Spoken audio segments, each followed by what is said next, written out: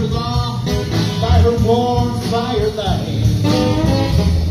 I sat with her with love and delight. All winter long, those warm, cozy nights, her mom to her last.